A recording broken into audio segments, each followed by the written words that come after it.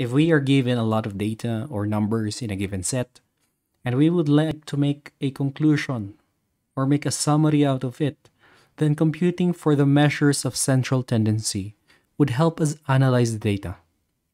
Now, there are three types of measures under measures of central tendency, and those are namely mean, median, mode. So the mean is basically the average, or the term average is usually for the mean. We compute that by adding all the numbers in the given set divided by n, or the total number of data in that set. For the median, that is the midpoint. To compute for that, we need to arrange first the data in the given set from least to greatest, or from greatest to least. And based on what we can observe, the middle number is already the midpoint or the median. But where, what if there are two numbers in the middle? We just need to compute the average of the two numbers. Now, the mode is the number that is most repeated. So there could be one mode, two modes, or that would be bimodal, or there could be three or more modes in that given set. And that is termed multimodal. So what if I have an example here? And we need to compute for the mean median mode of it. So the given set has numbers 1, 1, 2, 3, and 3. What is the mean median mode for this?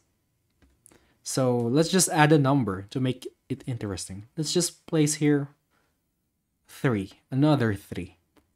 So the mean for this would be the summation of all these numbers. So it's 1 plus 1 plus 2 plus 3 plus 3 plus 3 divided by 1, 2, 3, 4, 5, 6. So there are 6 numbers, so that would be divided by 6. 1 plus 1 is 2, 2 plus 2 is 4, 4 plus 3 is 7, 7 plus 3 is 10, 10 plus 3 is 13.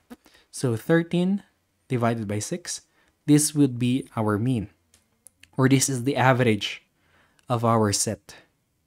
Now, the median would be the midpoint or the middle number. Now, since our data is already arranged from least to greatest, we just need to observe the middle term.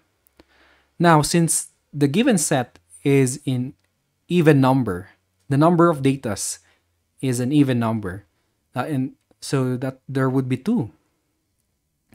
And those are 2 and 3. That's the middle numbers. There are two middle numbers. So we need to find the average of both of them. So 2 plus 3 divided by 2 is equal to 5 over 2. Or that would be 2.5. So we can already see or observe that 2.5 is the right answer because it's greater than 2 and less than 3. It falls right in the middle of it. Now, for the mode, this is the number that is most repeated. So, since there are th three num since the number 3 is the number that's most repeated, we place here 3. So if you have questions, just comment down below.